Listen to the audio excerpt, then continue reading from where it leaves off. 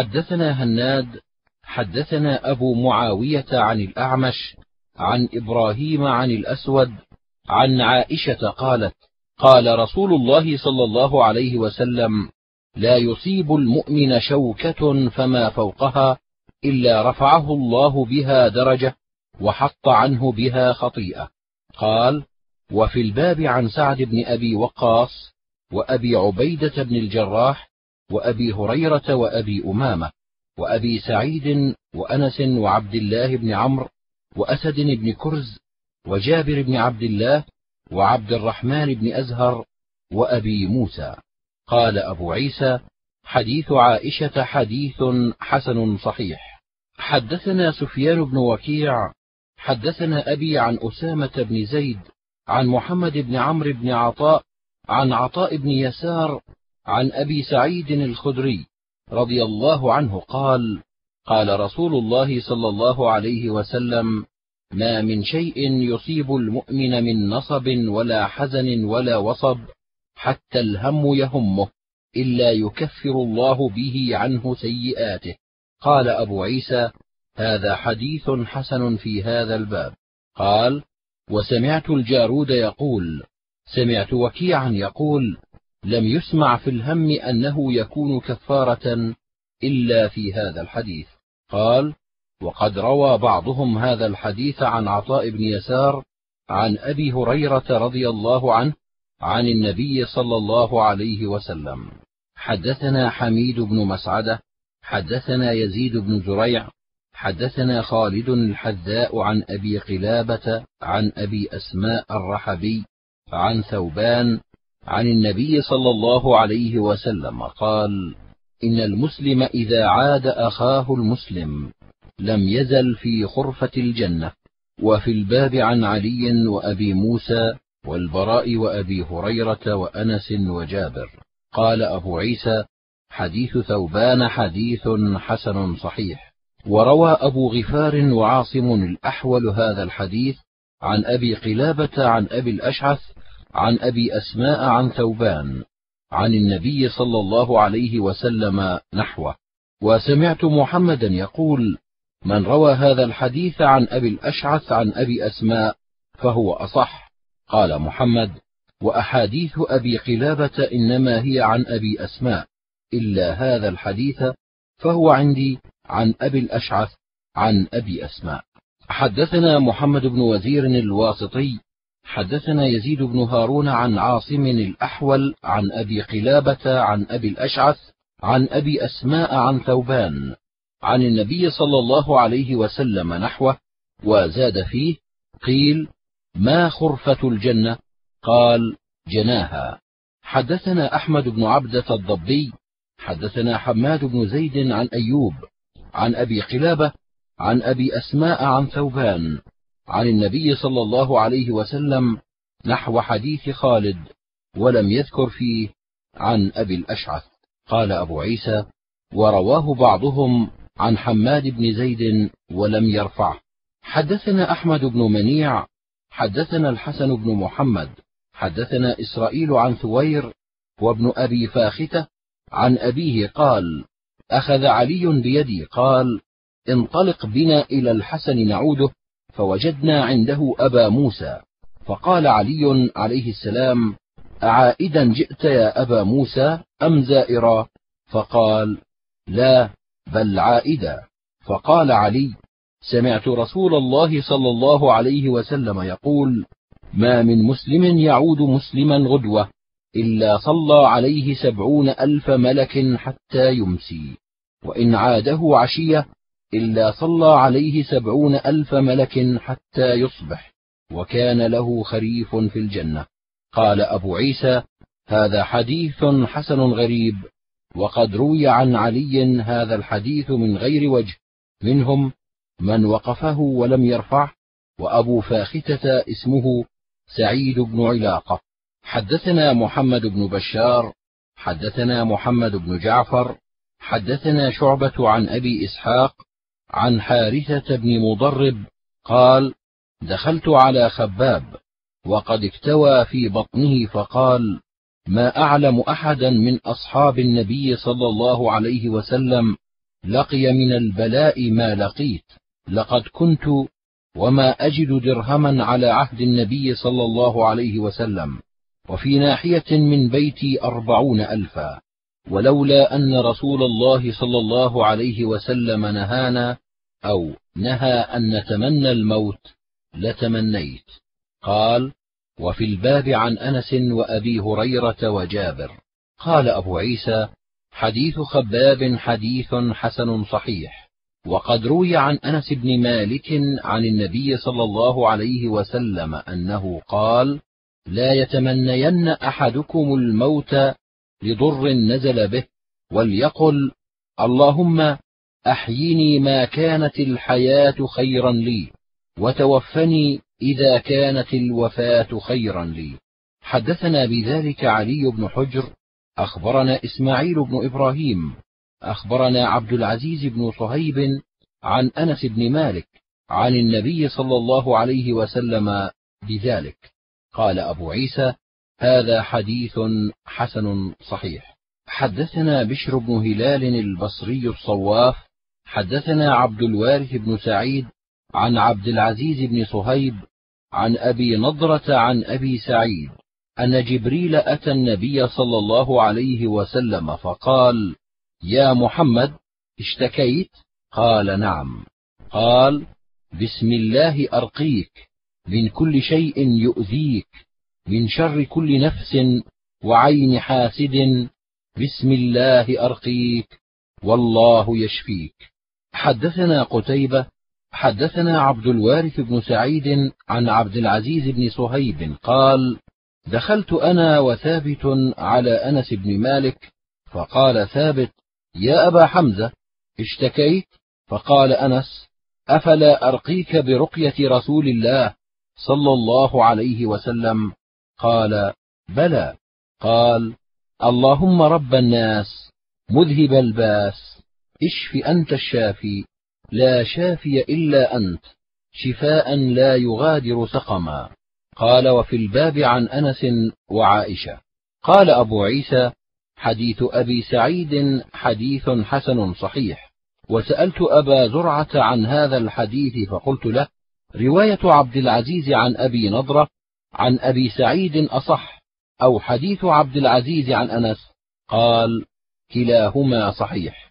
وروى عبد الصمد بن عبد الوارث عن أبيه عن عبد العزيز بن صهيب عن أبي نضرة عن أبي سعيد وعن عبد العزيز بن صهيب عن أنس. حدثنا إسحاق بن منصور أخبرنا عبد الله بن نمير حدثنا عبيد الله بن عمر عن نافع عن ابن عمر أن رسول الله صلى الله عليه وسلم قال ما حق امرئ مسلم يبيت ليلتين وله شيء يوصي فيه إلا ووصيته مكتوبة عنده. قال وفي الباب عن ابن أبي أوفى. قال أبو عيسى حديث ابن عمر حديث حسن صحيح. حدثنا قتيبة حدثنا جرير عن عطاء بن السائب عن أبي عبد الرحمن السلمي عن سعد بن مالك قال عادني رسول الله صلى الله عليه وسلم وأنا مريض فقال أوصيت؟ قلت نعم. قال بكم؟ قلت بمالي كله في سبيل الله. قال فما تركت لولدك؟ قلت هم أغنياء بخير. قال أوص بالعشر فما زلت أناقصه حتى قال أوص بالثلث والثلث كثير. قال أبو عبد الرحمن ونحن نستحب أن ينقص من الثلث لقول رسول الله صلى الله عليه وسلم والثلث كثير. قال وفي الباب عن ابن عباس. قال أبو عيسى حديث سعد حديث حسن صحيح وقد روي عنه من غير وجه وقد روي عنه والثلث كثير. والعمل على هذا عند أهل العلم لا يرون أن يوصي الرجل بأكثر من الثلث ويستحبون أن ينقص من الثلث. قال سفيان الثوري كانوا يستحبون في الوصية الخمس دون الربع والربع دون الثلث ومن أوصى بالثلث فلم يترك شيئا ولا يجوز له إلا الثلث. حدثنا أبو سلمة يحيى بن خلف حدثنا بشر بن المفضل عن عمارة بن غزية عن يحيى بن عمارة عن أبي سعيد عن النبي صلى الله عليه وسلم قال لقنوا موتاكم لا إله إلا الله. قال وفي الباب عن أبي هريرة وأم سلمة وعائشة وجابر وسعدى المرية وهي امرأة طلحة بن عبيد الله. قال أبو عيسى حديث أبي سعيد حديث حسن غريب صحيح. حدثنا هناد حدثنا أبو معاوية عن الأعمش عن شقيق عن أم سلمة قالت قال لنا رسول الله صلى الله عليه وسلم إذا حضرتم المريض أو الميت فقولوا خيرا فإن الملائكة يؤمنون على ما تقولون. قالت فلما مات أبو سلمة أتيت النبي صلى الله عليه وسلم فقلت يا رسول الله إن أبا سلمة مات. قال فقولي اللهم اغفر لي وله وأعقبني منه عقبى حسنة. قالت فقلت فأعقبني الله منه من هو خير منه رسول الله صلى الله عليه وسلم. شقيق هو ابن سلمة أبو وائل الأسدي. قال أبو عيسى حديث أم سلمة حديث حسن صحيح وقد كان يستحب أن يلقن المريض عند الموت قول لا إله إلا الله وقال بعض أهل العلم إذا قال ذلك مرة فما لم يتكلم بعد ذلك فلا ينبغي أن يلقن ولا يكثر عليه في هذا وروي عن ابن المبارك أنه لما حضرته الوفاة جعل رجل يلقنه لا إله إلا الله وأكثر عليه فقال له عبد الله إذا قلت مرة فأنا على ذلك ما لم أتكلم بكلام وإنما معنى قول عبد الله إنما أراد ما روي عن النبي صلى الله عليه وسلم من كان آخر قوله لا إله إلا الله دخل الجنة حدثنا قتيبة حدثنا الليث عن ابن الهاد عن موسى بن سرجس عن القاسم بن محمد عن عائشة أنها قالت رأيت رسول الله صلى الله عليه وسلم وهو بالموت وعنده قدح فيه ماء وهو يدخل يده في القدح ثم يمسح وجهه بالماء ثم يقول اللهم أعني على غمرات الموت أو سكرات الموت. قال أبو عيسى هذا حديث حسن غريب. حدثنا الحسن بن الصباح البغدادي حدثنا مبشر بن إسماعيل الحلبي عن عبد الرحمن بن العلاء عن أبيه عن ابن عمر عن عائشة قالت ما أغبط أحدا بهون موت بعد الذي رأيت من شدة موت رسول الله صلى الله عليه وسلم. قال سألت أبا زرعة عن هذا الحديث وقلت له من عبد الرحمن بن العلاء؟ فقال هو العلاء بن اللجلاج وإنما عرفه من هذا الوجه.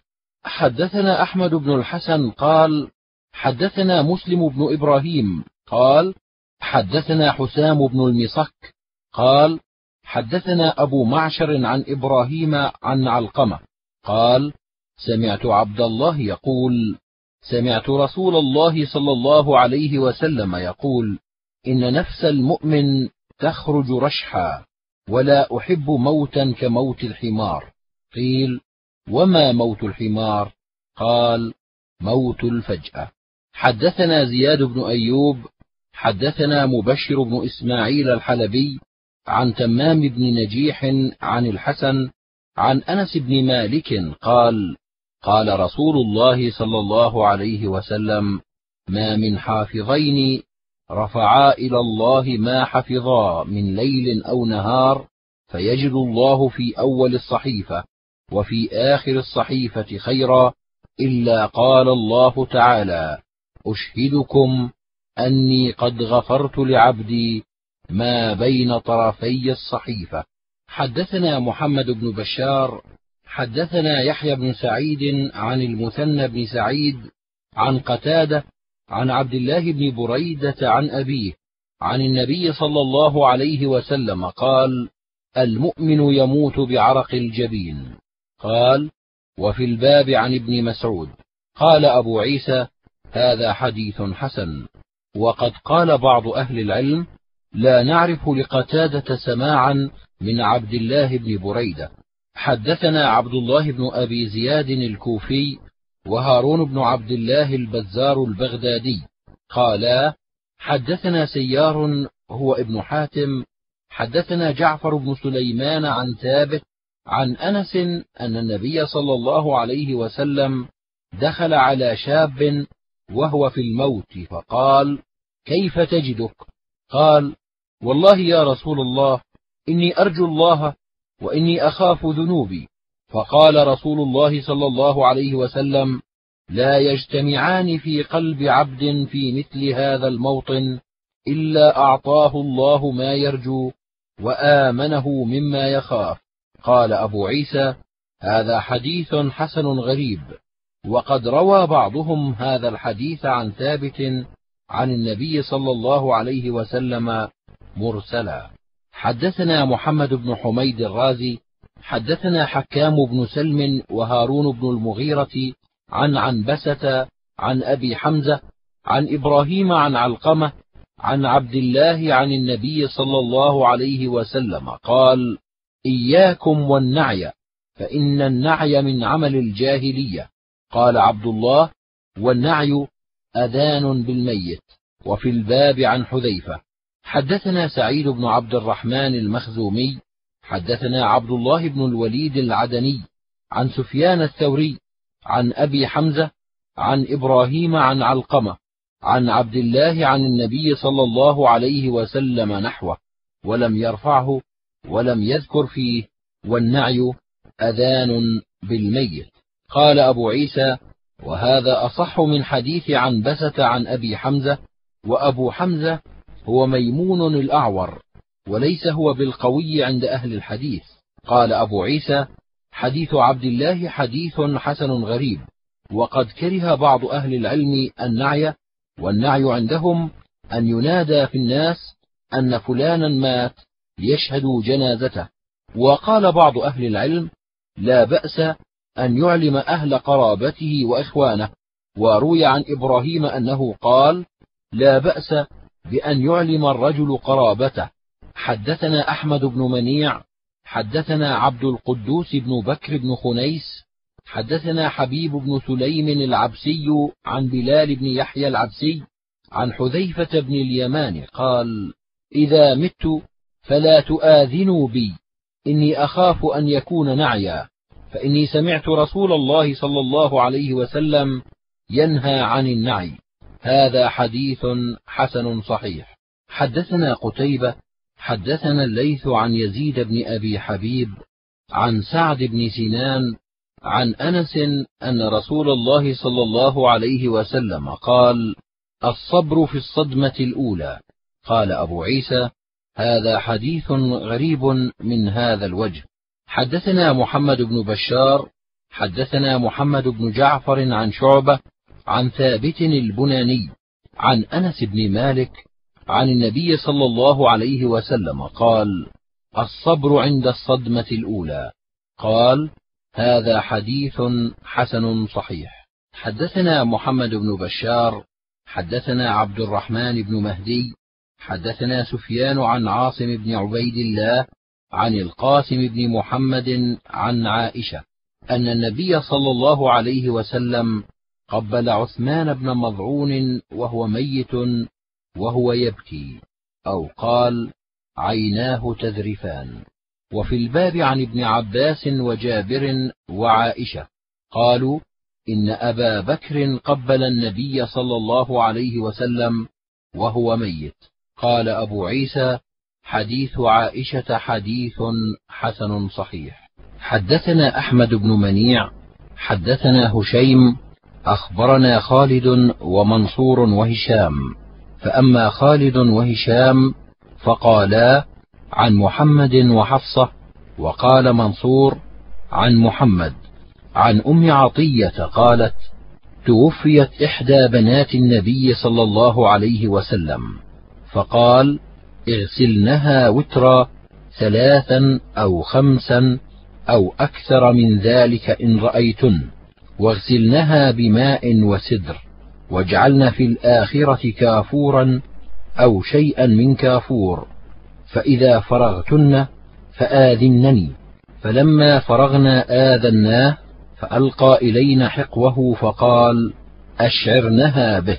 قال هشيم وفي حديث غير هؤلاء ولا أدري ولعل هشاما منهم. قالت وضفرنا شعرها ثلاثة قرون. قال هشيم أظنه قال فألقيناه خلفها. قال هشيم فحدثنا خالد من بين القوم عن حفصة ومحمد عن أم عطية. قالت وقال لنا رسول الله صلى الله عليه وسلم وابدأن بميامنها ومواضع الوضوء. وفي الباب عن أم سليم. قال أبو عيسى حديث أم عطية حديث حسن صحيح والعمل على هذا عند أهل العلم. وقد روي عن إبراهيم النخعي أنه قال غسل الميت كالغسل من الجنابة. وقال مالك بن أنس ليس لغسل الميت عندنا حد مؤقت وليس لذلك صفة معلومة ولكن يطهر. وقال الشافعي إنما قال مالك قولا مجملا يغسل وينقى وإذا أنقي الميت بماء قراح أو ماء غيره أجزأ ذلك من غسله. ولكن أحب إلي أن يغسل ثلاثا فصاعدا لا يقصر عن ثلاث لما قال رسول الله صلى الله عليه وسلم اغسلنها ثلاثا أو خمسا. وإن أنقوا في أقل من ثلاث مرات أجزأ. ولا نرى أن قول النبي صلى الله عليه وسلم إنما هو على معنى الإنقاء ثلاثا أو خمسا ولم يؤقت. وكذلك قال الفقهاء وهم أعلم بمعاني الحديث. وقال أحمد وإسحاق وتكون الغسلات بماء وسدر ويكون في الآخرة شيء من كافور. حدثنا محمود بن غيلان حدثنا أبو داود وشبابه قالا حدثنا شعبة عن خليد بن جعفر سمع أبا نضرة يحدث عن أبي سعيد الخدري قال قال رسول الله صلى الله عليه وسلم أطيب الطيب المسك. قال أبو عيسى هذا حديث حسن صحيح. حدثنا سفيان بن وكيع حدثنا أبي عن شعبة عن خليد بن جعفر عن أبي نضرة عن أبي سعيد أن النبي صلى الله عليه وسلم سئل عن المسك فقال هو أطيب طيبكم. قال أبو عيسى هذا حديث حسن صحيح والعمل على هذا عند بعض أهل العلم وهو قول أحمد وإسحاق وقد كره بعض أهل العلم المسك للميت. قال وقد رواه المستمر بن الريان أيضا عن أبي نضرة عن أبي سعيد عن النبي صلى الله عليه وسلم. قال علي قال يحيى بن سعيد المستمر بن الريان ثقة. قال يحيى خليد بن جعفر ثقة. حدثنا محمد بن عبد الملك بن أبي الشوارب. حدثنا عبد العزيز بن المختار عن سهيل بن أبي صالح عن أبيه. عن أبي هريرة عن النبي صلى الله عليه وسلم قال من غسله الغسل ومن حمله الوضوء يعني الميت. قال وفي الباب عن علي وعائشة. قال أبو عيسى حديث أبي هريرة حديث حسن وقد روي عن أبي هريرة موقوفا وقد اختلف أهل العلم في الذي يغسل الميت فقال بعض أهل العلم من أصحاب النبي صلى الله عليه وسلم وغيرهم إذا غسل ميتا فعليه الغسل. وقال بعضهم عليه الوضوء. وقال مالك بن أنس أستحب الغسل من غسل الميت ولا أرى ذلك واجبا. وهكذا قال الشافعي. وقال أحمد من غسل ميتا أرجو أن لا يجب عليه الغسل. وأما الوضوء فأقل ما قيل فيه. وقال إسحاق لا بد من الوضوء. قال وقد روي عن عبد الله بن المبارك أنه قال لا يغتسل ولا يتوضأ من غسل الميت.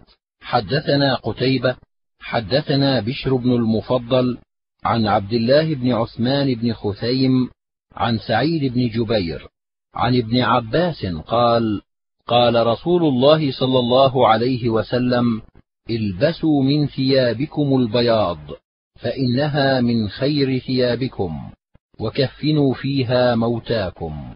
وفي الباب عن سمرة وابن عمر وعائشة قال أبو عيسى حديث ابن عباس حديث حسن صحيح وهو الذي يستحبه أهل العلم.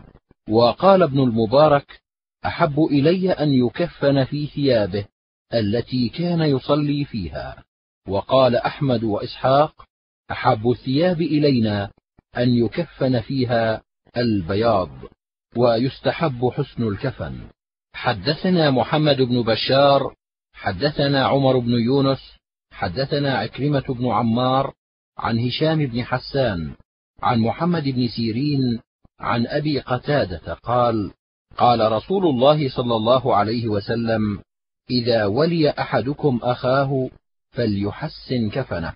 وفيه عن جابر قال أبو عيسى هذا حديث حسن غريب. وقال ابن المبارك قال سلام بن أبي مطيع في قوله وليحسن أحدكم كفن أخيه. قال هو الصفاء وليس بالمرتفع. حدثنا قتيبة حدثنا حفص بن غياث عن هشام بن عروة عن أبيه. عن عائشة قالت كفن النبي صلى الله عليه وسلم في ثلاثة أثواب بيض يمانية ليس فيها قميص ولا عمامة.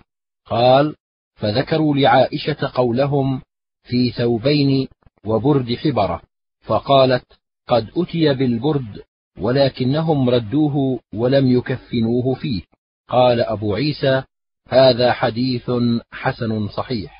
حدثنا ابن أبي عمر حدثنا بشر بن السري عن زائدة عن عبد الله بن محمد بن عقيل عن جابر بن عبد الله أن رسول الله صلى الله عليه وسلم كفن حمزة بن عبد المطلب في نمرة في ثوب واحد. قال وفي الباب عن علي وابن عباس وعبد الله بن مغفل وابن عمر قال أبو عيسى حديث عائشة حديث حسن صحيح وقد روي في كفن النبي صلى الله عليه وسلم روايات مختلفة وحديث عائشة أصح الأحاديث التي رويت في كفن النبي صلى الله عليه وسلم. والعمل على حديث عائشة عند أكثر أهل العلم من أصحاب النبي صلى الله عليه وسلم وغيرهم. قال سفيان الثوري يكفن الرجل في ثلاث أثواب إن شئت في قميص ولفافتين. وإن شئت في ثلاث لفائف. ويجزي ثوب واحد إن لم يجدوا ثوبين. والثوبان يجزيان. والثلاثة لمن وجدها أحب إليهم. وهو قول الشافعي وأحمد وإسحاق.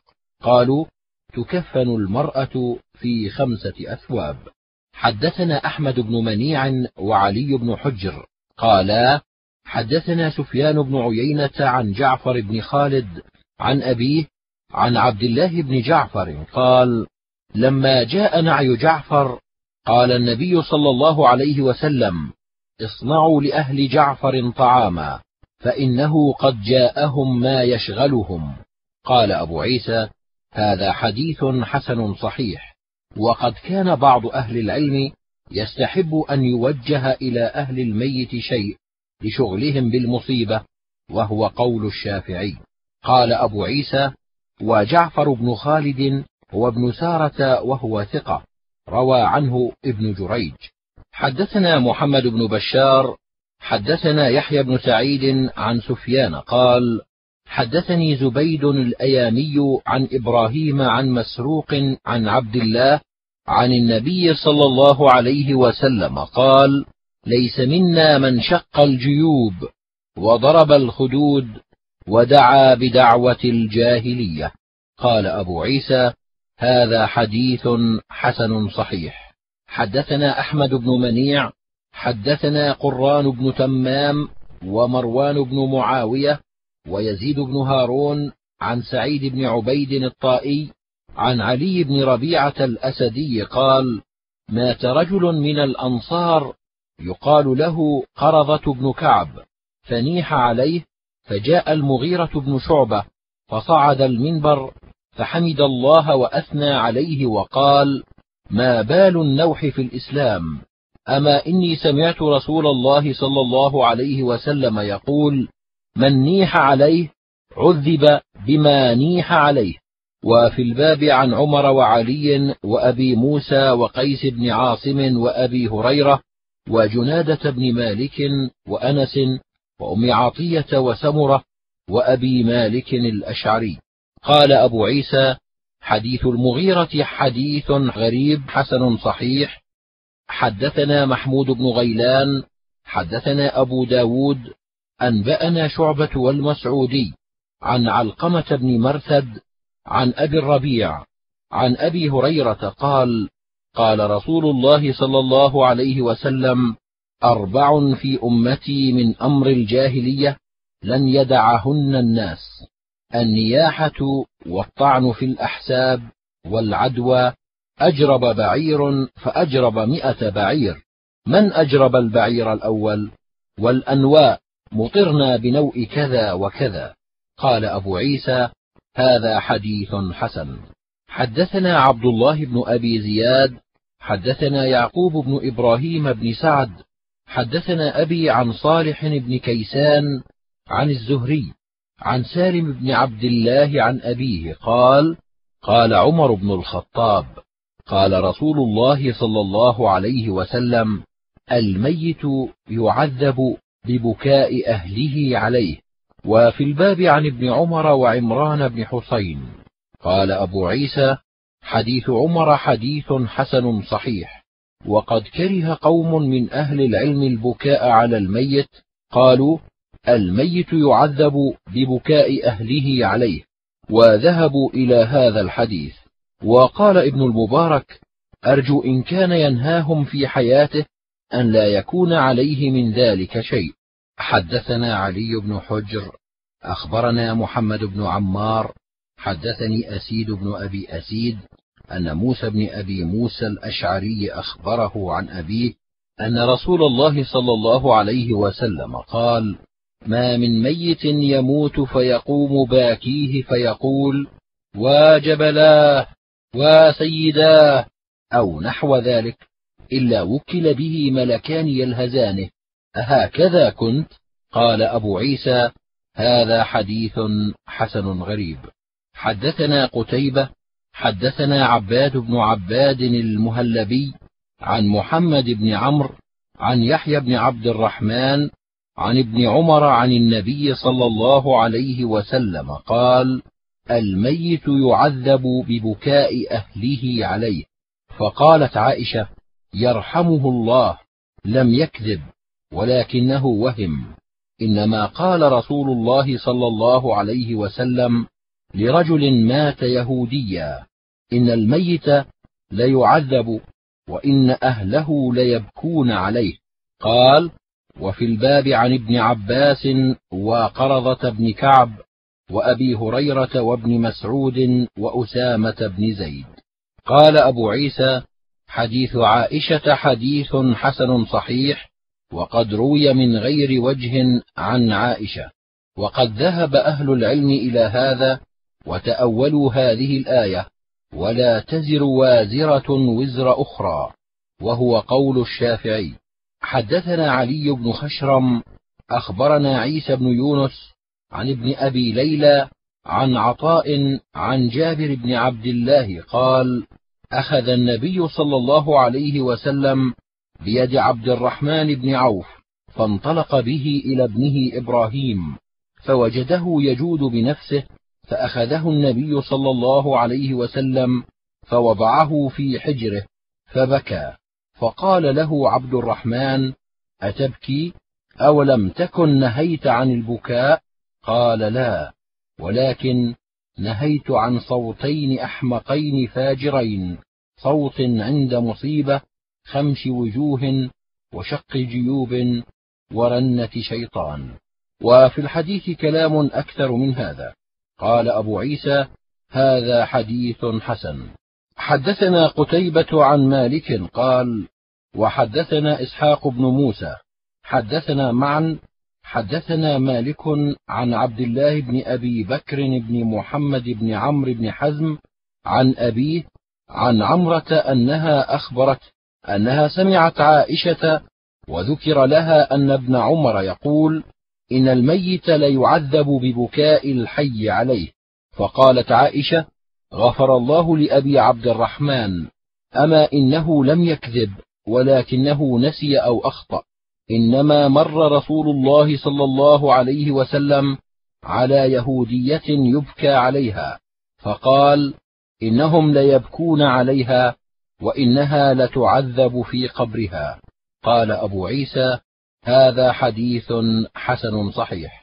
حدثنا قتيبة وأحمد بن منيع وإسحاق بن منصور ومحمود بن غيلان قالوا حدثنا سفيان بن عيينة عن الزهري عن سالم عن أبيه قال رأيت النبي صلى الله عليه وسلم وأبا بكر وعمر يمشون أمام الجنازة.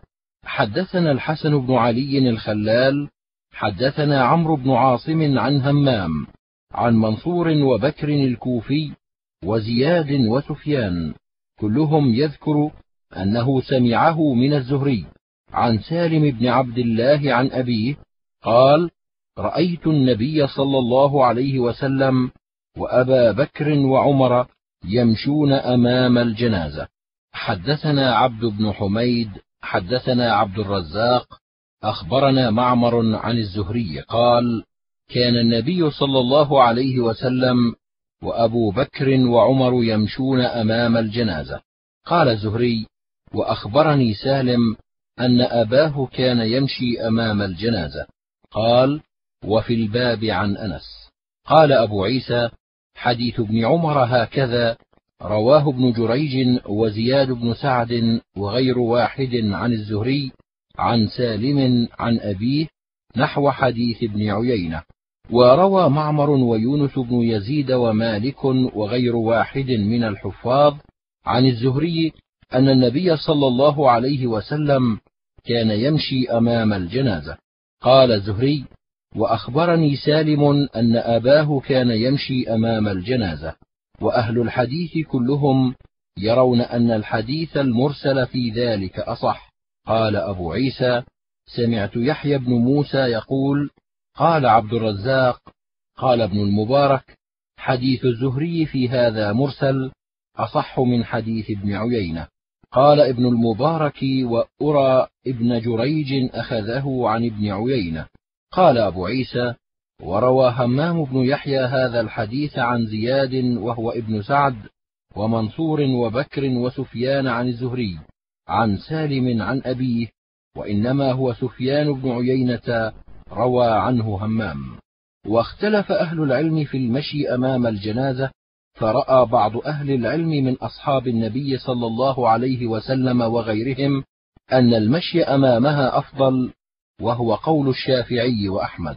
قال وحديث أنس في هذا الباب غير محفوظ. حدثنا أبو موسى محمد بن المثنى حدثنا محمد بن بكر حدثنا يونس بن يزيد عن ابن شهاب عن أنس أن النبي صلى الله عليه وسلم وأبا بكر وعمر وعثمان كانوا يمشون أمام الجنازة. قال أبو عيسى سألت محمدا عن هذا الحديث فقال هذا حديث خطأ أخطأ فيه محمد بن بكر. وإنما يروى هذا الحديث عن يونس عن الزهري أن النبي صلى الله عليه وسلم وأبا بكر وعمر كانوا يمشون أمام الجنازة. قال الزهري وأخبرني سالم أن أباه كان يمشي أمام الجنازة. قال محمد هذا أصح. حدثنا محمود بن غيلان حدثنا وهب بن جرير عن شعبة عن يحيى إمام بني تيم الله عن أبي ماجد عن عبد الله بن مسعود قال سألنا رسول الله صلى الله عليه وسلم عن المشي خلف الجنازة. قال ما دون الخبب فإن كان خيرا عجلتموه وإن كان شرا فلا يبعد إلا أهل النار. الجنازة متبوعة ولا تتبع وليس منا من تقدمها. قال أبو عيسى هذا حديث لا يعرف من حديث عبد الله بن مسعود إلا من هذا الوجه. قال سمعت محمد بن إسماعيل يضعف حديث أبي ماجد لهذا. وقال محمد قال الحميدي قال ابن عيينة قيل ليحيى من أبو ماجد هذا؟ قال طائر طار فحدثنا. وقد ذهب بعض أهل العلم من أصحاب النبي صلى الله عليه وسلم وغيرهم إلى هذا. رأوا أن المشي خلفها أفضل وبه يقول سفيان الثوري وإسحاق قال إن أبا ماجد رجل مجهول لا يعرف إنما يروى عنه حديثان عن ابن مسعود ويحيى إمام بني تيم الله ثقة يكنى أبا الحارث ويقال له يحيى الجابر ويقال له يحيى المجبر أيضا وهو كوفي روى له شعبة وسفيان الثوري وأبو الأحوص وسفيان بن عيينة. حدثنا علي بن حجر أخبرنا عيسى بن يونس عن أبي بكر بن أبي مريم عن راشد بن سعد عن ثوبان قال خرجنا مع رسول الله صلى الله عليه وسلم في جنازة فرأى ناسا ركبانا فقال ألا تستحيون إن ملائكة الله على أقدامهم وأنتم على ظهور الدواب؟ قال وفي الباب عن المغيرة بن شعبة وجابر بن سمرة. قال أبو عيسى حديث ثوبان قد روي عنه موقوفا. قال محمد الموقوف منه أصح. حدثنا محمود بن غيلان حدثنا أبو داود حدثنا شعبة عن سماك قال سمعت جابر بن سمرة يقول كنا مع النبي صلى الله عليه وسلم في جنازة أبي الدحداح وهو على فرس له يسعى ونحن حوله وهو يتوقص به. حدثنا عبد الله بن الصباح الهاشمي حدثنا أبو قتيبة عن الجراح عن سماك عن جابر بن سمرة. أن النبي صلى الله عليه وسلم اتبع جنازة أبي الدحداح ماشيا ورجع على فرس. قال أبو عيسى هذا حديث حسن صحيح. حدثنا أحمد بن منيع حدثنا سفيان بن عيينة عن الزهري. سمع سعيد بن المسيب عن أبي هريرة يبلغ به النبي صلى الله عليه وسلم قال أسرعوا بالجنازة فإن يكن خيرا تقدموها إليه وإن يكن شرا تضعوه عن رقابكم. وفي الباب عن أبي بكرة قال أبو عيسى حديث أبي هريرة حديث حسن صحيح. حدثنا قتيبة حدثنا أبو صفوان عن أسامة بن زيد عن ابن شهاب عن أنس بن مالك قال أتى رسول الله صلى الله عليه وسلم على حمزة يوم أحد فوقف عليه فرآه قد مثل به فقال لولا أن تجد صفية في نفسها لتركته حتى تأكله العافية حتى يحشر يوم القيامة من بطونها. قال ثم دعا بنمرة فكفنه فيها فكانت إذا مدت على رأسه بدت رجلاه وإذا مدت على رجليه بدا رأسه. قال فكثر القتلى وقلت الثياب.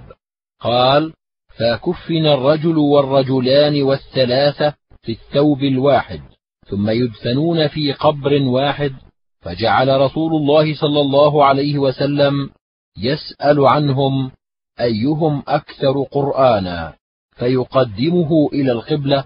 قال فدفنهم رسول الله صلى الله عليه وسلم ولم يصل عليهم. قال أبو عيسى حديث أنس حديث حسن غريب لا نعرفه من حديث أنس إلا من هذا الوجه النمرة الكساء الخلق. وقد خلف أسامة بن زيد في رواية هذا الحديث فروى الليث بن سعد عن ابن شهاب عن عبد الرحمن بن كعب بن مالك عن جابر بن عبد الله بن زيد وروى معمر عن الزهري عن عبد الله بن ثعلبة عن جابر ولا نعلم أحدا ذكره عن الزهري عن أنس إلا أسامة بن زيد. وسألت محمدا عن هذا الحديث فقال حديث الليث عن ابن شهاب عن عبد الرحمن بن كعب بن مالك عن جابر أصح. حدثنا علي بن حجر أخبرنا علي بن مسهر عن مسلم الأعور عن أنس بن مالك قال كان رسول الله صلى الله عليه وسلم يعود المريض ويشهد الجنازة ويركب الحمار ويجيب دعوة العبد. وكان يوم بني قريظة على حمار مخطوم بحبل من ليف. عليه إكاف ليف. قال أبو عيسى هذا حديث لا نعرفه إلا من حديث مسلم عن أنس ومسلم الأعور يضعف وهو مسلم بن كيسانة كل فيه وقد روى عنه شعبة وسفيان الملائي.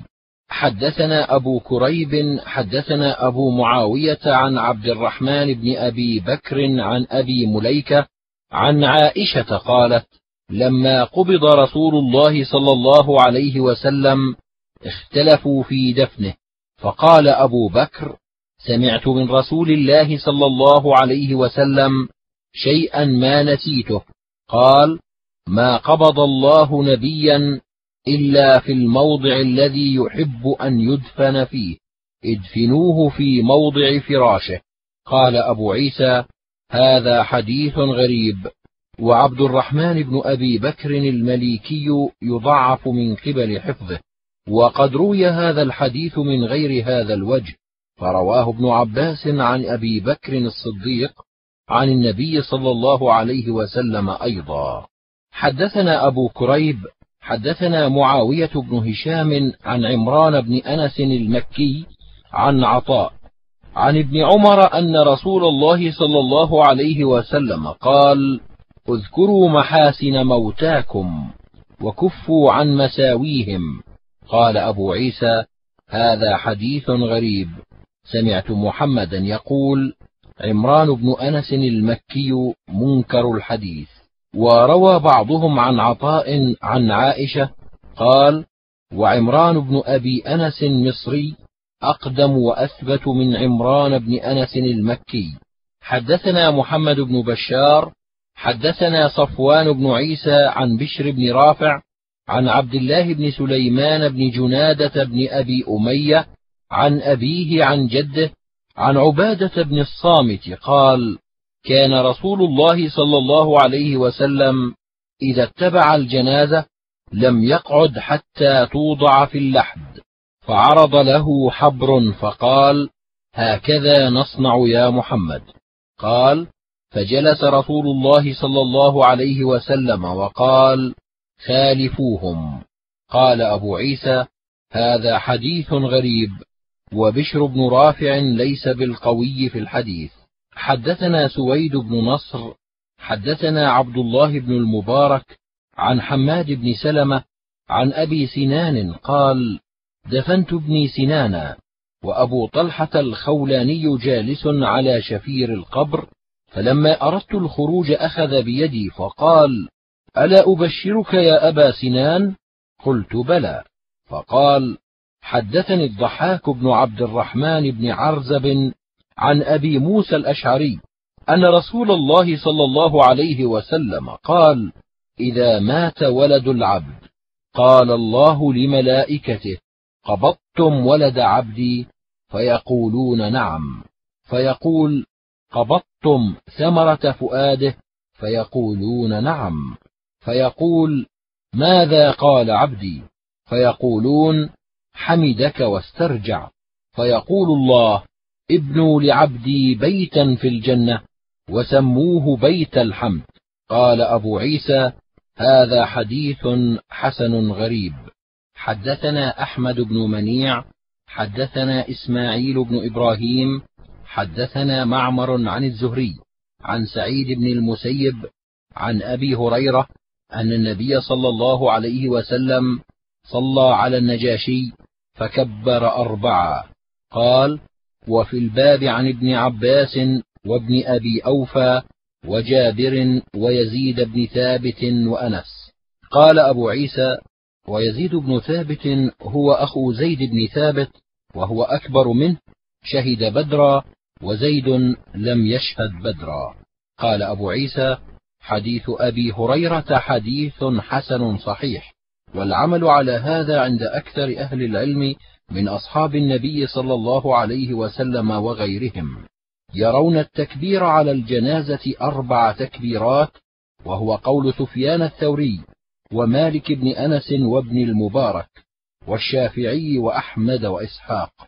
حدثنا محمد بن المثنى حدثنا محمد بن جعفر أخبرنا شعبة عن عمرو بن مرة عن عبد الرحمن بن أبي ليلى قال كان زيد بن أرقم يكبر على جنائزنا أربعة وإنه كبر على جنازة خمسة فسألناه عن ذلك فقال كان رسول الله صلى الله عليه وسلم يكبرهما.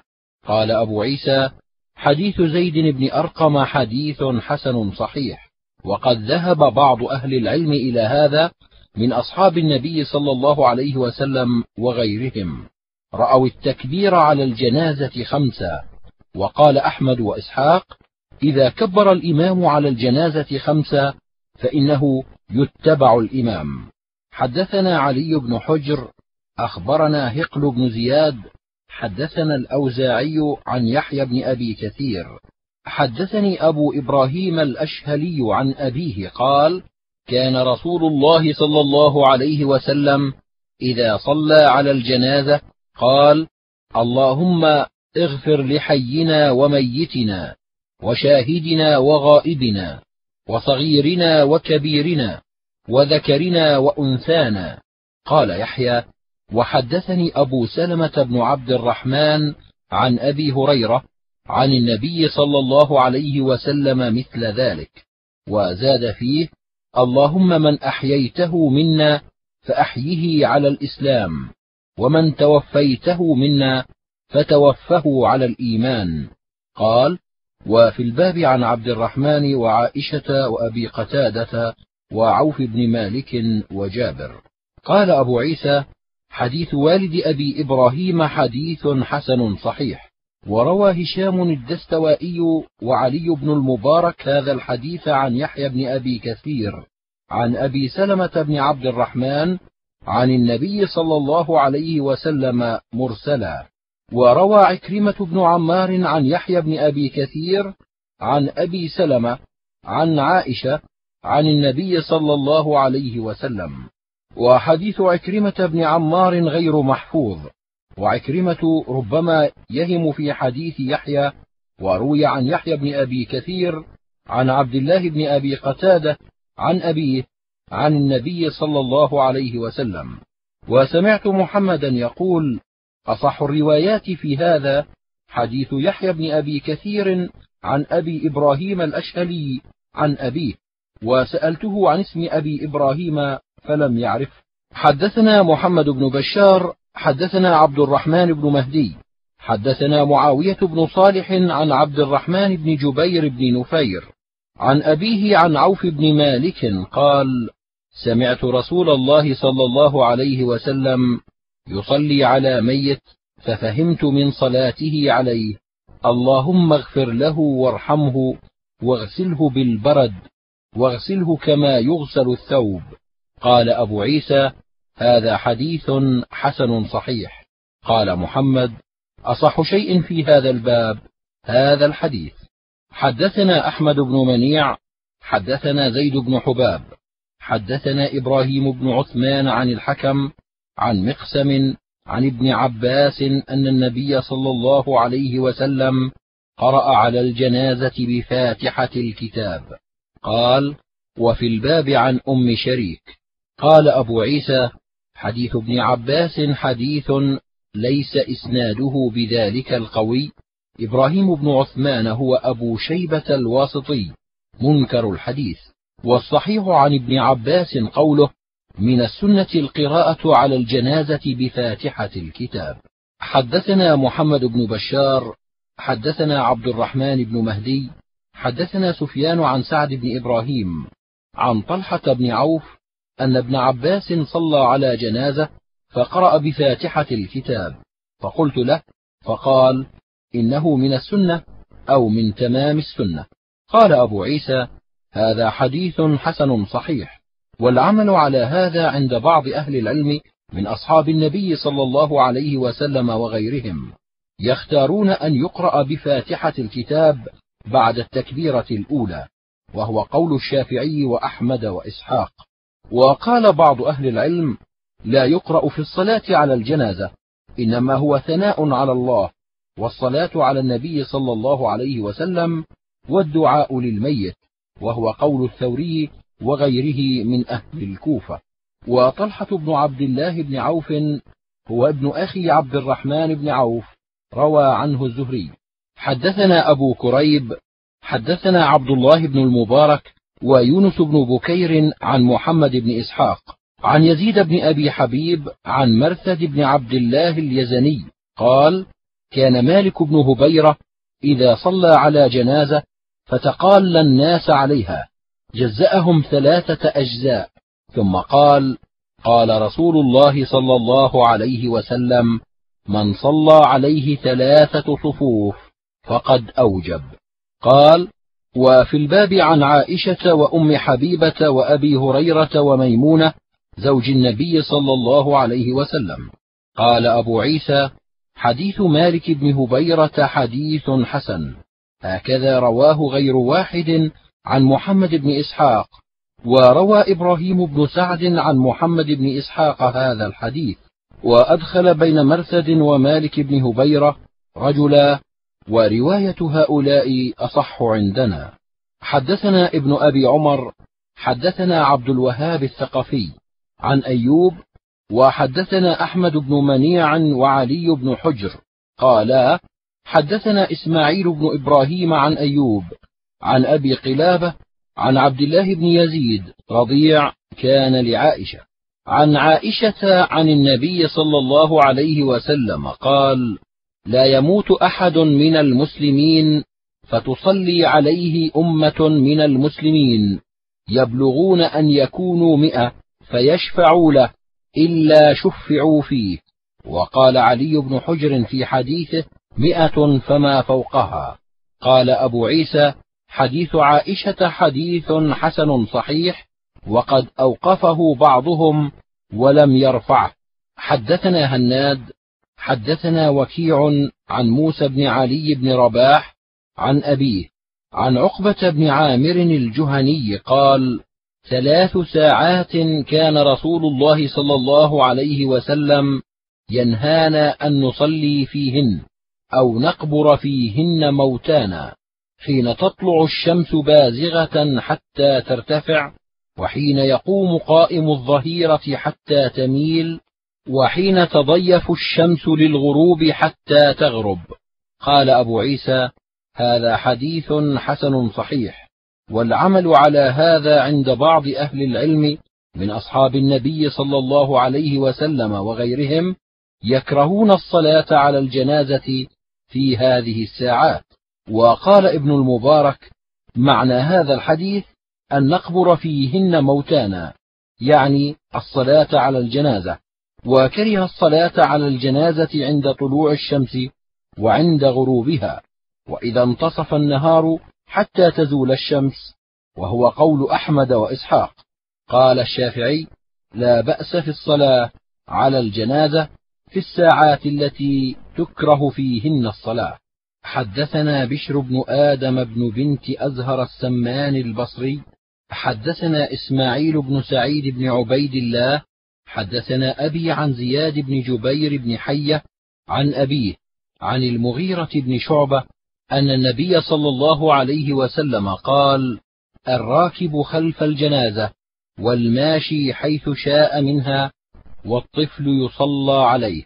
قال أبو عيسى: هذا حديث حسن صحيح، رواه إسرائيل وغير واحد عن سعيد بن عبيد الله والعمل عليه عند بعض أهل العلم من أصحاب النبي صلى الله عليه وسلم وغيرهم. قالوا يصلى على الطفل وإن لم يستهل بعد أن يعلم أنه خلق وهو قول أحمد وإسحاق.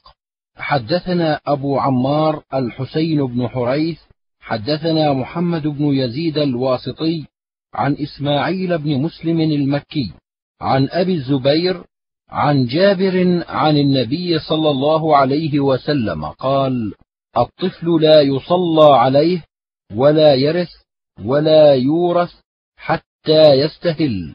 قال أبو عيسى هذا حديث قد اضطرب الناس فيه. فرواه بعضهم عن أبي الزبير عن جابر عن النبي صلى الله عليه وسلم مرفوعا.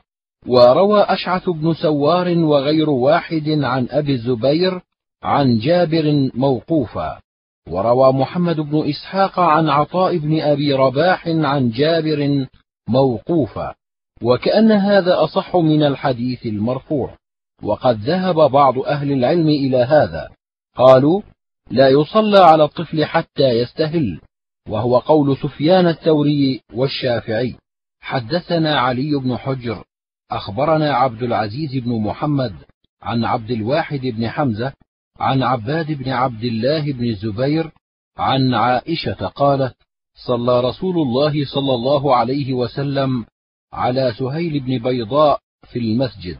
قال أبو عيسى هذا حديث حسن والعمل على هذا عند بعض أهل العلم. قال الشافعي قال مالك لا يصلى على الميت في المسجد. وقال الشافعي يصلى على الميت في المسجد واحتج بهذا الحديث. حدثنا عبد الله بن منير عن سعيد بن عامر عن همام عن أبي غالب قال صليت مع أنس بن مالك على جنازة رجل فقام حيال رأسه ثم جاءوا بجنازة امرأة من قريش فقالوا يا أبا حمزة صل عليها. فقام حيال وسط السرير فقال له العلاء بن زياد هكذا رأيت النبي صلى الله عليه وسلم قام على الجنازة مقامك منها ومن الرجل مقامك منه؟ قال نعم. فلما فرغ قال احفظوا. وفي الباب عن سمرة. قال أبو عيسى حديث أنس هذا حديث حسن وقد روى غير واحد عن همام مثل هذا. وروى وكيع هذا الحديث عن همام فوهم فيه فقال عن غالب عن أنس والصحيح عن أبي غالب وقد روى هذا الحديث عبد الوارث بن سعيد وغير واحد عن أبي غالب مثل رواية همام. واختلفوا في اسم أبي غالب هذا فقال بعضهم يقال اسمه نافع ويقال رافع. وقد ذهب بعض أهل العلم إلى هذا وهو قول أحمد وإسحاق. حدثنا علي بن حجر أخبرنا عبد الله بن المبارك والفضل بن موسى عن حسين المعلم عن عبد الله بن بريدة عن سمرة بن جندب أن النبي صلى الله عليه وسلم صلى على امرأة فقام وسطها. قال أبو عيسى هذا حديث حسن صحيح وقد رواه شعبة. عن حسين المعلم. حدثنا قتيبة حدثنا الليث عن ابن شهاب عن عبد الرحمن بن كعب بن مالك أن جابر بن عبد الله أخبره أن النبي صلى الله عليه وسلم كان يجمع بين الرجلين من قتلى أحد في الثوب الواحد ثم يقول أيهما أكثر اخذا للقرآن؟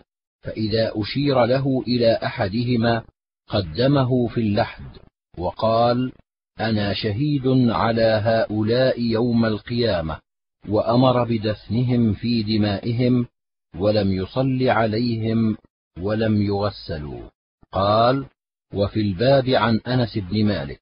قال أبو عيسى حديث جابر حديث حسن صحيح وقد روي هذا الحديث عن الزهري عن أنس عن النبي صلى الله عليه وسلم وروي عن الزهري عن عبد الله بن ثعلبة بن أبي صعير عن النبي صلى الله عليه وسلم ومنهم من ذكره عن جابر وقد اختلف أهل العلم في الصلاة على الشهيد فقال بعضهم لا يصلى على الشهيد وهو قول أهل المدينة وبه يقول الشافعي وأحمد. وقال بعضهم يصلى على الشهيد واحتجوا بحديث النبي صلى الله عليه وسلم أنه صلى على حمزة وهو قول الثوري وأهل الكوفة وبه يقول إسحاق. حدثنا أحمد بن منيع حدثنا هشيم أخبرنا الشيباني حدثنا الشعبي أخبرني من رأى النبي صلى الله عليه وسلم ورأى قبرا منتبذا. فصف أصحابه خلفه فصلى عليه فقيل له من أخبرك؟ فقال ابن عباس قال وفي الباب عن أنس وبريدة ويزيد بن ثابت وأبي هريرة وعامر بن ربيعة وأبي قتادة وسهل بن حنيف. قال أبو عيسى حديث ابن عباس حديث حسن صحيح والعمل على هذا عند أكثر أهل العلم من أصحاب النبي صلى الله عليه وسلم وغيرهم وهو قول الشافعي وأحمد وإسحاق. وقال بعض أهل العلم لا يصلى على القبر وهو قول مالك بن أنس. وقال عبد الله بن المبارك إذا دفن الميت ولم يصلى عليه صلي على القبر. ورأى ابن المبارك الصلاة على القبر. وقال أحمد وإسحاق يصلى على القبر إلى شهر. وقالا أكثر ما سمعنا عن ابن المسيب أن النبي صلى الله عليه وسلم صلى على قبر أم سعد بن عبادة بعد شهر. حدثنا محمد بن بشار حدثنا يحيى بن سعيد عن سعيد بن أبي عروبة عن قتادة عن سعيد بن المسيب أن أم سعد ماتت والنبي صلى الله عليه وسلم غائب فلما قدم صلى عليها وقد مضى لذلك شهر. حدثنا أبو سلمة يحيى بن خلف وحميد بن مسعدة قالا حدثنا بشر بن المفضل حدثنا يونس بن عبيد عن محمد بن سيرين عن أبي المهلب عن عمران بن حسين قال قال لنا رسول الله صلى الله عليه وسلم إن أخاكم النجاشي قد مات فقوموا فصلوا عليه. قال فقمنا فصففنا كما يصف على الميت وصلينا عليه كما يصلى على الميت. وفي الباب عن أبي هريرة وجابر بن عبد الله وأبي سعيد وحذيفة بن أسيد وجرير بن عبد الله. قال أبو عيسى هذا حديث حسن صحيح غريب من هذا الوجه وقد رواه أبو قلابة عن عمه أبي المهلب عن عمران بن حسين. وأبو المهلب اسمه عبد الرحمن بن عمرو ويقال له معاوية بن عمرو. حدثنا أبو كريب حدثنا عبدة بن سليمان عن محمد بن عمرو حدثنا أبو سلمة عن أبي هريرة قال قال رسول الله صلى الله عليه وسلم من صلى على جنازة فله قيراط ومن تبعها حتى يقضى دفنها فله قيراطان أحدهما أو أصغرهما مثل أحد.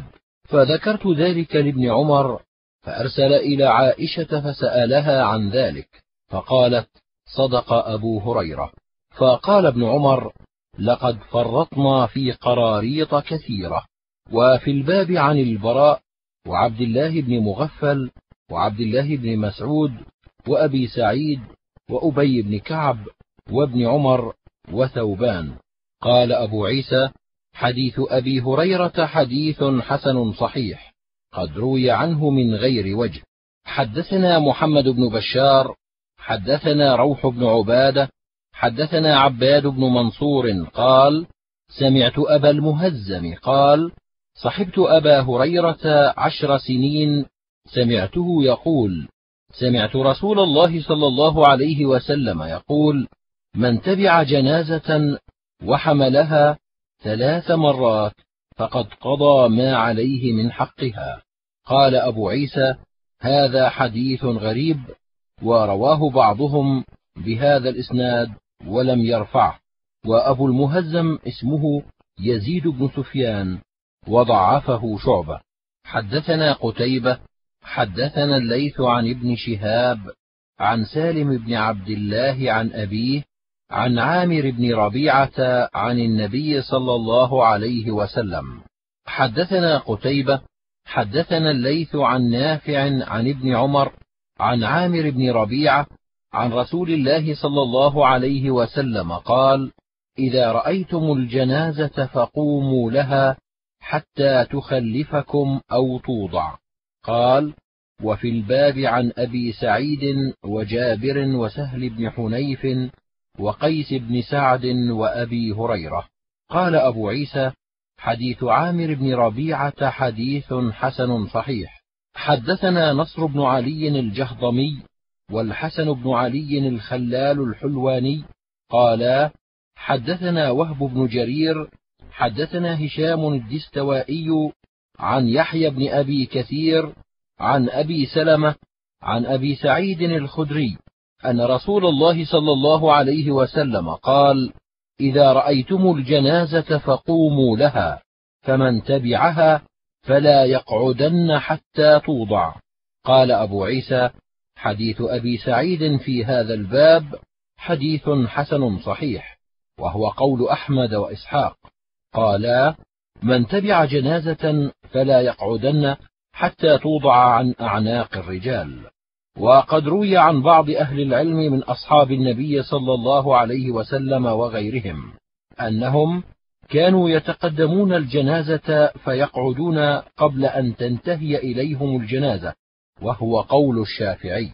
حدثنا قتيبة حدثنا الليث عن يحيى بن سعيد عن واقد وهو ابن عمرو بن سعد بن معاذ عن نافع بن جبير عن مسعود بن الحكم عن علي بن أبي طالب أنه ذكر القيام في الجنائز حتى توضع. فقال علي قام رسول الله صلى الله عليه وسلم ثم قعد. وفي الباب عن الحسن بن علي وابن عباس. قال أبو عيسى حديث علي حديث حسن صحيح وفيه رواية أربعة من التابعين بعضهم عن بعض والعمل على هذا عند بعض أهل العلم. قال الشافعي وهذا أصح شيء في هذا الباب وهذا الحديث ناسخ للأول إذا رأيتم الجنازة فقوموا وقال أحمد إن شاء قام وإن شاء لم يقم واحتج بأن النبي صلى الله عليه وسلم قد روي عنه أنه قام ثم قعد. وهكذا قال إسحاق بن إبراهيم. قال أبو عيسى معنى قول علي قام رسول الله صلى الله عليه وسلم في الجنازة ثم قعد يقول كان رسول الله صلى الله عليه وسلم إذا رأى الجنازة قام ثم ترك ذلك بعد فكان لا يقوم إذا رأى الجنازة. حدثنا أبو كريب ونصر بن عبد الرحمن الكوفي ويوسف بن موسى القطان البغدادي قالوا حدثنا حكام بن سلم عن علي بن عبد الأعلى عن أبيه عن سعيد بن جبير عن ابن عباس قال قال النبي صلى الله عليه وسلم اللحد لنا والشق لغيرنا. وفي الباب عن جرير بن عبد الله وعائشة وابن عمر وجابر. قال أبو عيسى حديث ابن عباس حديث حسن غريب من هذا الوجه.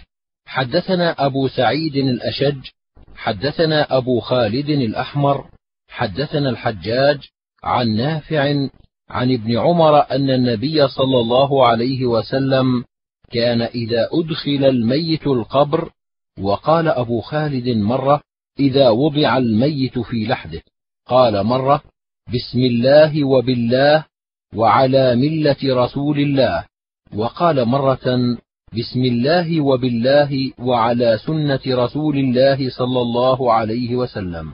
قال أبو عيسى هذا حديث حسن غريب من هذا الوجه وقد روي هذا الحديث من غير هذا الوجه عن ابن عمر عن النبي صلى الله عليه وسلم.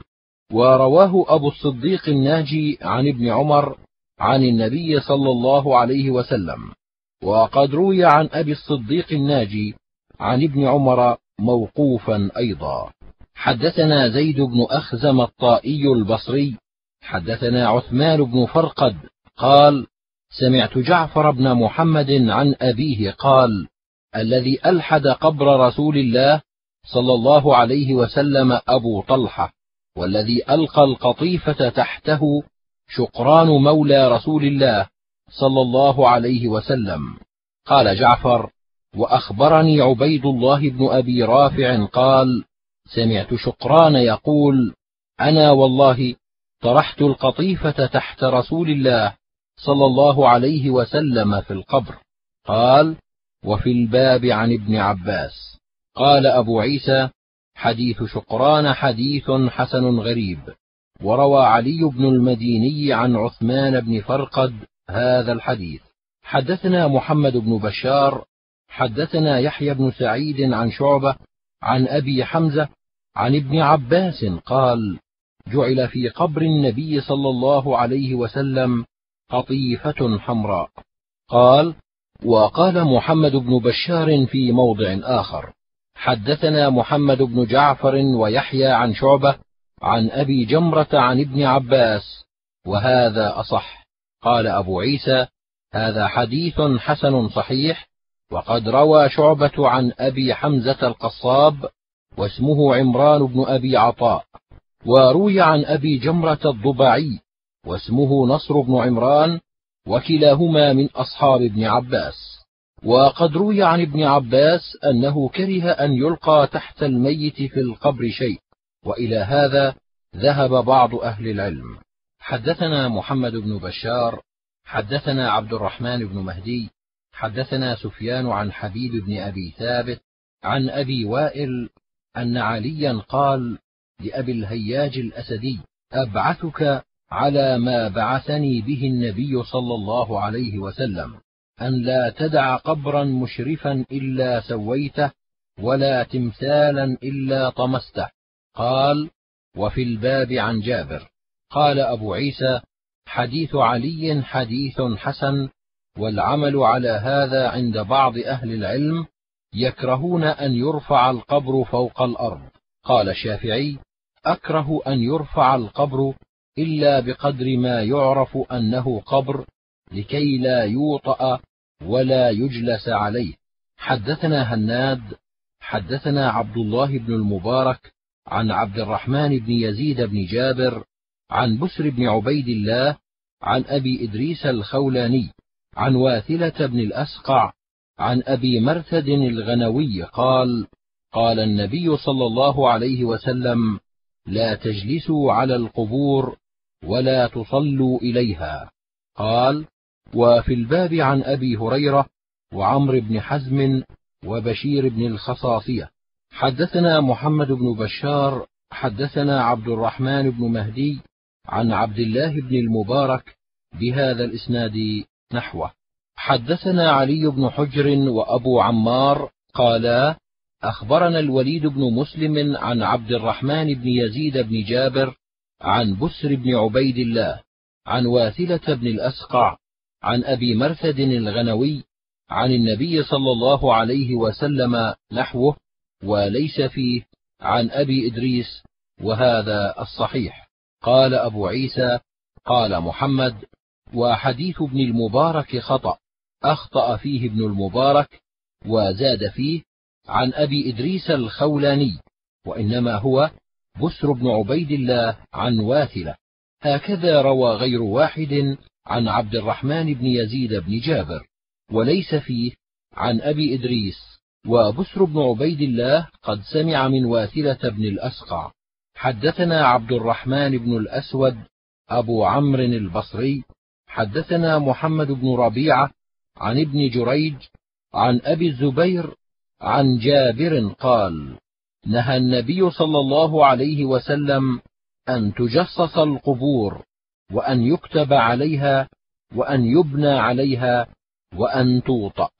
قال أبو عيسى هذا حديث حسن صحيح قد روي من غير وجه عن جابر وقد رخص بعض أهل العلم منهم الحسن البصري في تطيين القبور وقال الشافعي لا بأس أن يطين القبر.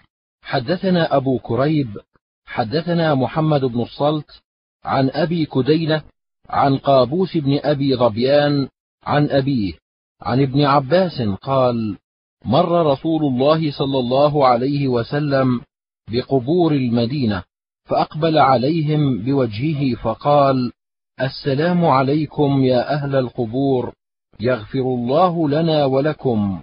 أنتم سلفنا ونحن بالأثر. قال وفي الباب عن بريدة وعائشة. قال أبو عيسى حديث ابن عباس حديث حسن غريب. وأبو كدينة اسمه يحيى بن المهلب. وأبو ظبيان اسمه حسين بن جندب. حدثنا محمد بن بشار ومحمود بن غيلان والحسن بن علي الخلال قالوا حدثنا أبو عاصم النبيل حدثنا سفيان بن علقمة بن مرثد عن سليمان بن بريدة عن أبيه قال قال رسول الله صلى الله عليه وسلم قد كنت نهيتكم عن زيارة القبور فقد أذن لمحمد في زيارة قبر أمه فزوروها. فإنها تذكر الآخرة. قال وفي الباب عن أبي سعيد وابن مسعود وأنس وأبي هريرة وأم سلمة. قال أبو عيسى حديث بريدة حديث حسن صحيح والعمل على هذا عند أهل العلم لا يرون بزيارة القبور بأسا وهو قول ابن المبارك والشافعي وأحمد وإسحاق. حدثنا الحسين بن حريث حدثنا عيسى بن يونس عن ابن جريج عن عبد الله بن أبي مليكة قال توفي عبد الرحمن بن أبي بكر بحبشي. قال فحمل إلى مكة فدفن فيها. فلما قدمت عائشة أتت قبر عبد الرحمن بن أبي بكر فقالت وكنا كندماني جذيمة حقبة من الدهر حتى قيل لن يتصدعا. فلما تفرقنا كأني ومالكا لطول اجتماع لم نبت ليلة معا. ثم قالت والله لو حضرتك ما دفنت إلا حيث مت ولو شهدتك ما زرتك. حدثنا قتيبة حدثنا أبو عوانة عن عمر بن أبي سلمة عن أبيه عن أبي هريرة أن رسول الله صلى الله عليه وسلم لعن زوارات القبور. قال وفي الباب عن ابن عباس وحسان بن ثابت. قال أبو عيسى هذا حديث حسن صحيح. وقد رأى بعض أهل العلم أن هذا كان قبل أن يرخص النبي صلى الله عليه وسلم في زيارة القبور. فلما رخص دخل في رخصته الرجال والنساء. وقال بعضهم إنما كره زيارة القبور للنساء لقلة صبرهن وكثرة جزعهن.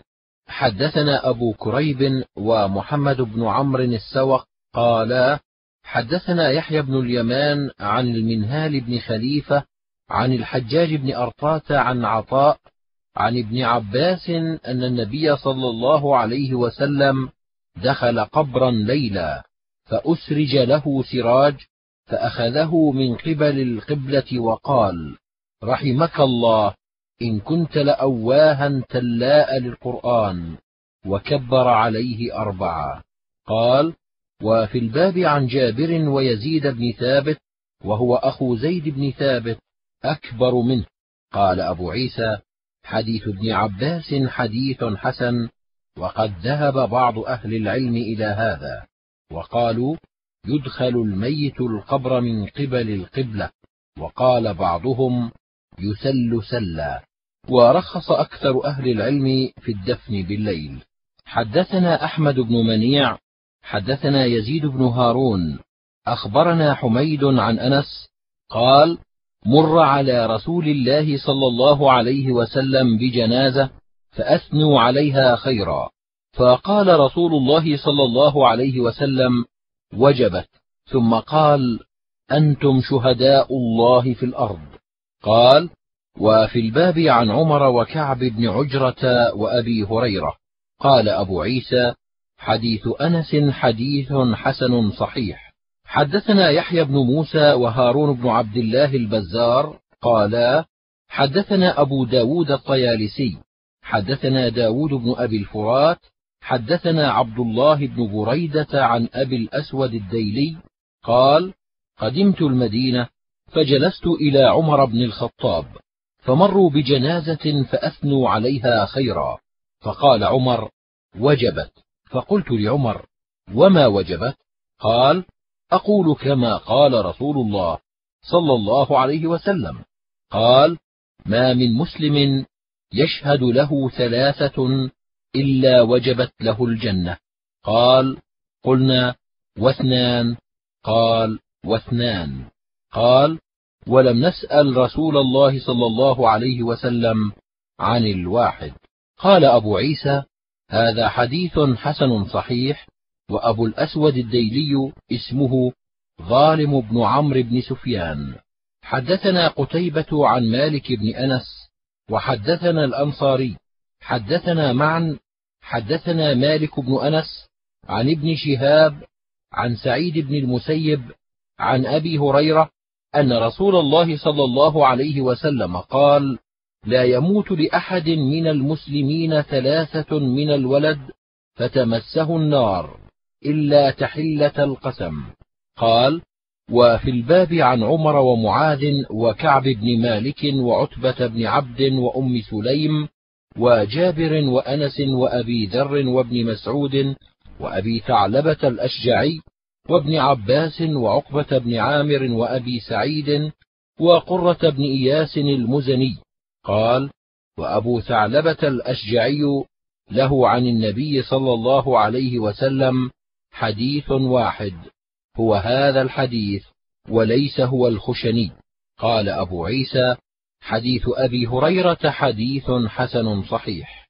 حدثنا نصر بن علي الجهضمي حدثنا إسحاق بن يوسف حدثنا العوام بن حوشب عن أبي محمد مولى عمر بن الخطاب عن أبي عبيدة بن عبد الله بن مسعود عن عبد الله قال قال رسول الله صلى الله عليه وسلم من قدم ثلاثة لم يبلغوا الحلم كانوا له حصنا حصينا من النار.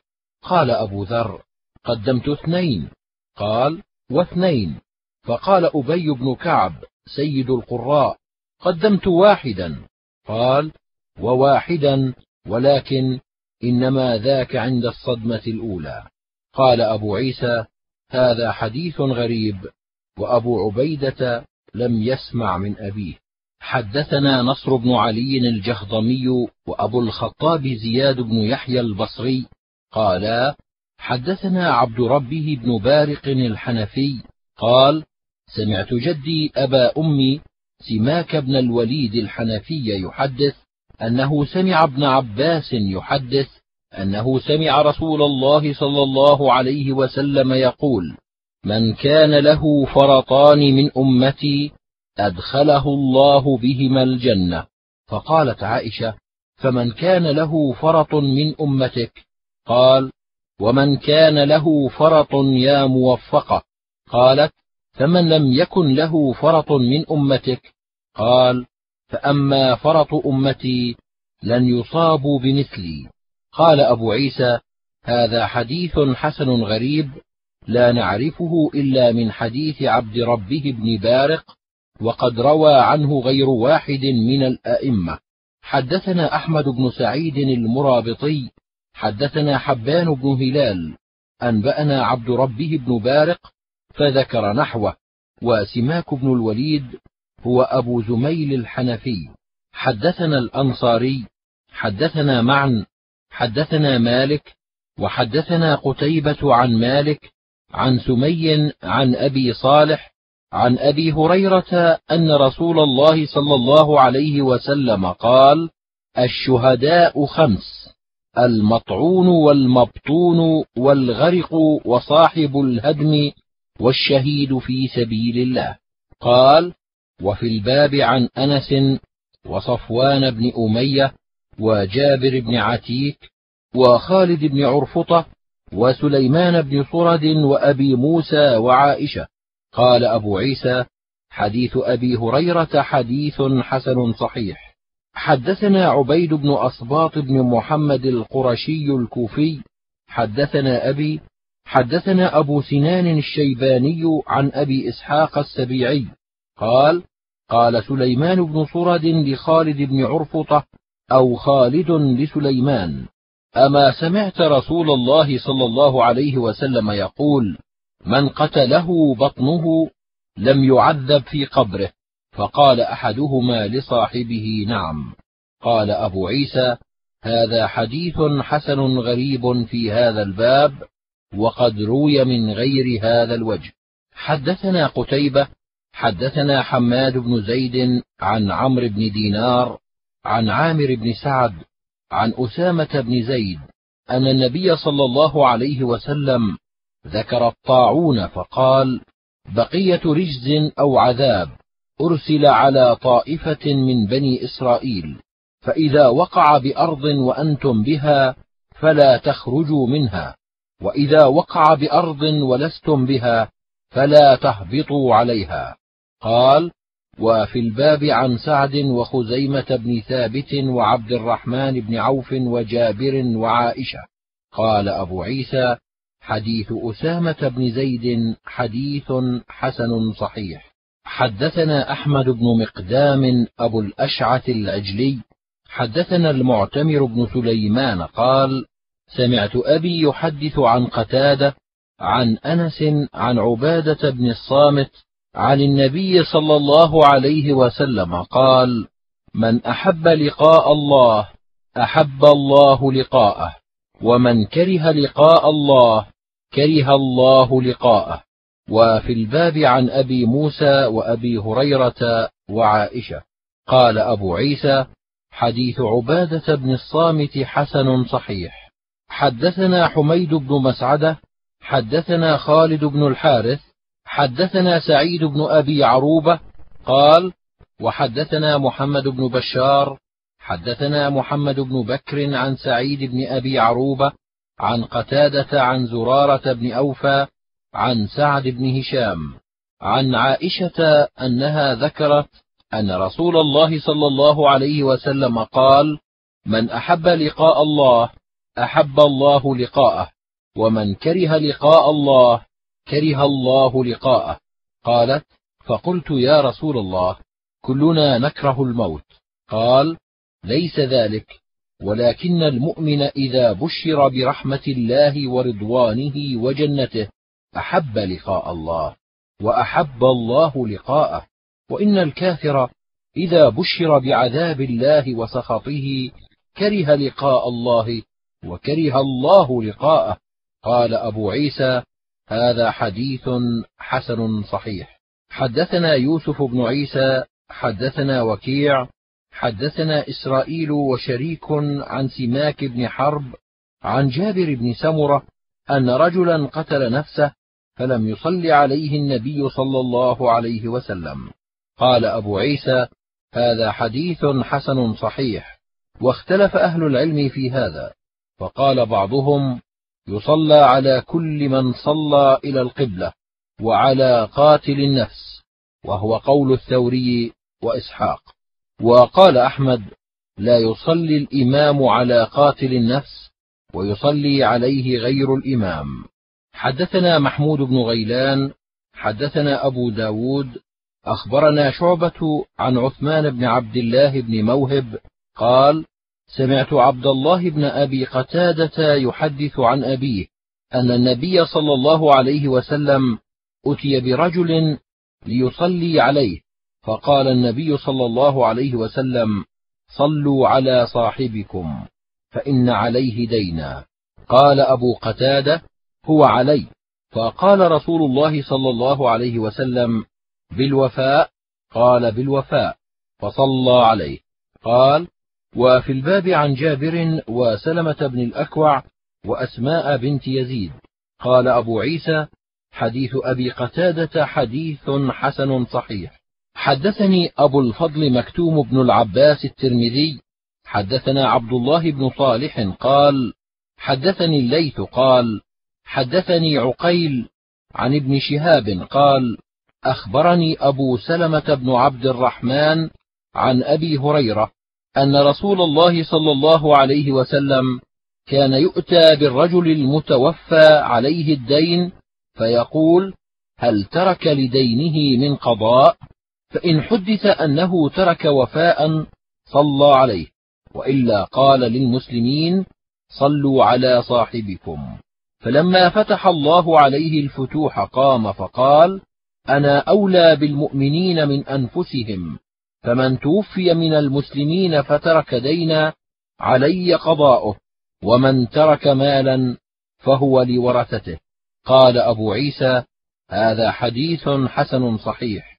وقد رواه يحيى بن بكير وغير واحد عن الليث بن سعد نحو حديث عبد الله بن صالح. حدثنا أبو سلمة يحيى بن خلف حدثنا بشر بن المفضل عن عبد الرحمن بن إسحاق عن سعيد بن أبي سعيد المقبري عن أبي هريرة قال قال رسول الله صلى الله عليه وسلم إذا قبر الميت أو قال أحدكم أتاه ملكان أسودان أزرقان. يقال لأحدهما المنكر والآخر النكير. فيقولان ما كنت تقول في هذا الرجل؟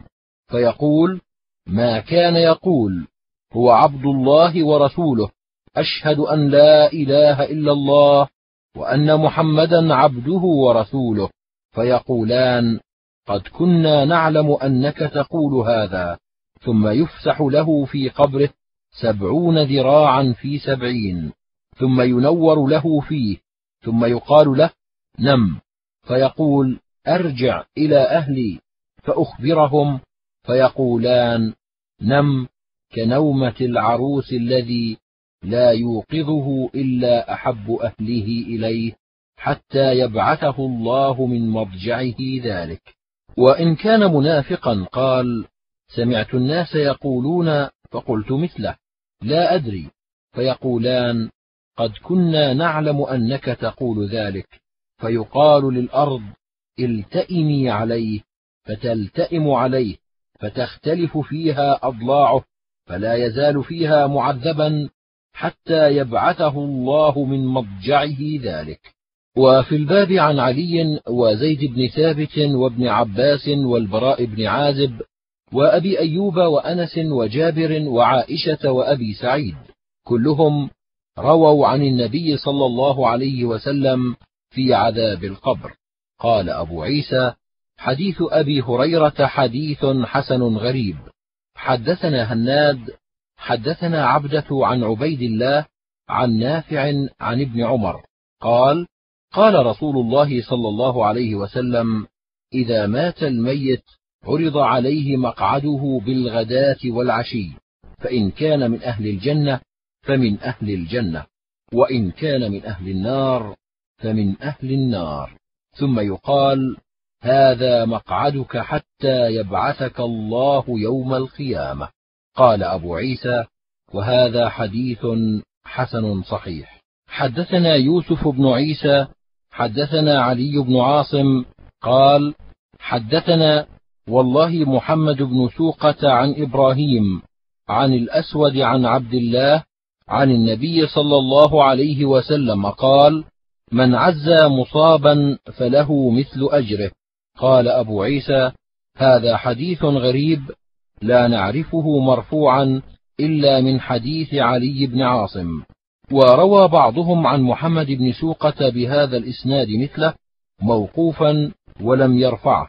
ويقال أكثر ما ابتلي به علي بن عاصم بهذا الحديث نقموا عليه. حدثنا محمد بن بشار حدثنا عبد الرحمن بن مهدي وأبو عامر العقدي. قالا حدثنا هشام بن سعد عن سعيد بن أبي هلال عن ربيعة بن سيف عن عبد الله بن عمرو قال قال رسول الله صلى الله عليه وسلم ما من مسلم يموت يوم الجمعة أو ليلة الجمعة إلا وقاه الله فتنة القبر. قال أبو عيسى هذا حديث غريب. قال وهذا حديث ليس إسناده بمتصل. ربيعة بن سيف إنما يروي عن أبي عبد الرحمن الحبلي عن عبد الله بن عمرو. ولا نعرف لربيعة بن سيف سماعا من عبد الله بن عمرو. حدثنا قتيبة حدثنا عبد الله بن وهب عن سعيد بن عبد الله الجهني عن محمد بن عمر بن علي بن أبي طالب عن أبيه عن علي بن أبي طالب أن رسول الله صلى الله عليه وسلم قال له يا علي ثلاث لا تؤخرها الصلاة إذا أتت والجنازة إذا حضرت والأيم إذا وجدت لها كفءا. قال أبو عيسى هذا حديث غريب وما أرى إسناده بمتصل.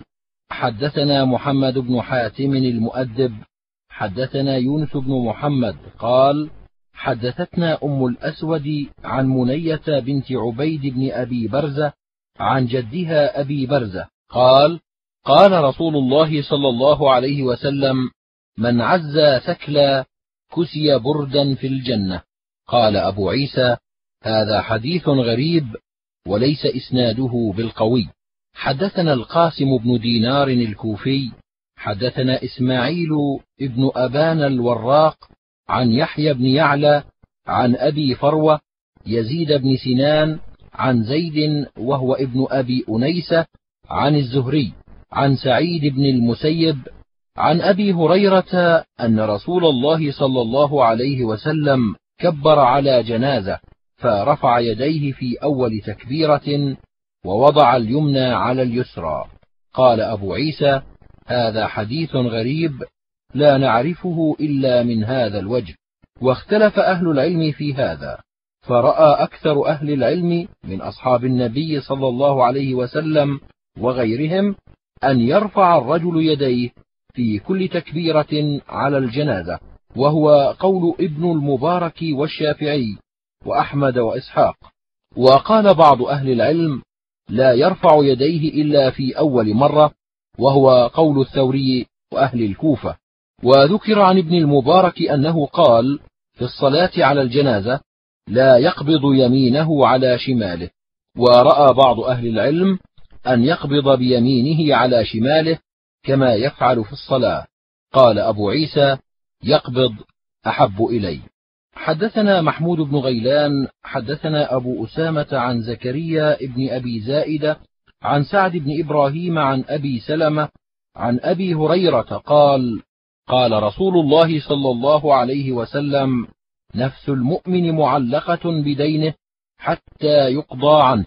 حدثنا محمد بن بشار حدثنا عبد الرحمن بن مهدي حدثنا إبراهيم بن سعد عن أبيه عن عمر بن أبي سلمة عن أبيه عن أبي هريرة عن النبي صلى الله عليه وسلم قال نفس المؤمن معلقة بدينه حتى يقضى عنه. قال أبو عيسى هذا حديث حسن وهو أصح من الأول.